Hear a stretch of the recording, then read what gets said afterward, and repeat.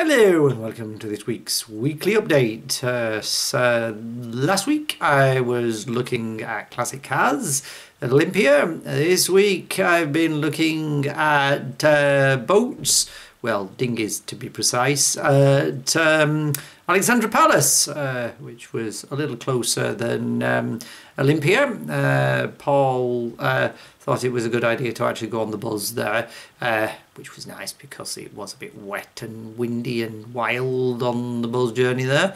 Um, so it was given the fact that we've had a record breaking um, uh, February, I think it's um, been the wettest February on record. Um, it certainly feels like it. Um, I can't remember when we had two dry days um, uh, in succession.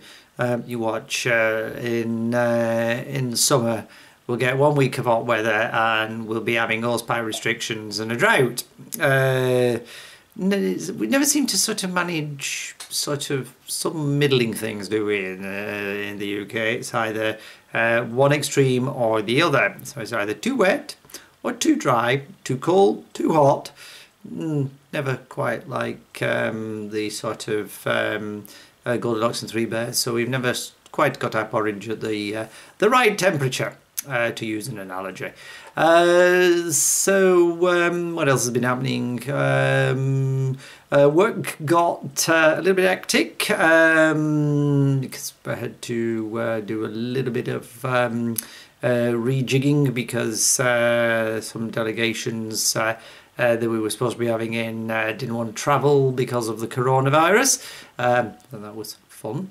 And um, generally speaking, that's really everything that's been happening. Um, uh, not very much uh, else has occurred in this last week. Um, oh, I um, I another mentor, men, another mentoring session uh, today. Uh, it's um, uh, at least the guy remembered. Last time he forgot. Uh, so that was good. Only got one more mentoring session, and then um, they, he has to take his exams.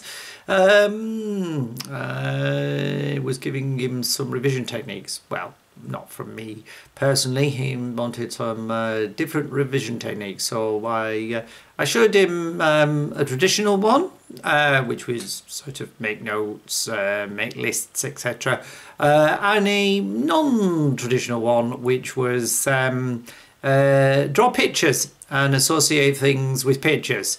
Um, it's a TED talk that I dug out. Um, that was interesting. Um, uh, not quite sure whether he'll go with the pictures, um, but uh, uh, at least I showed him some alternatives to consider.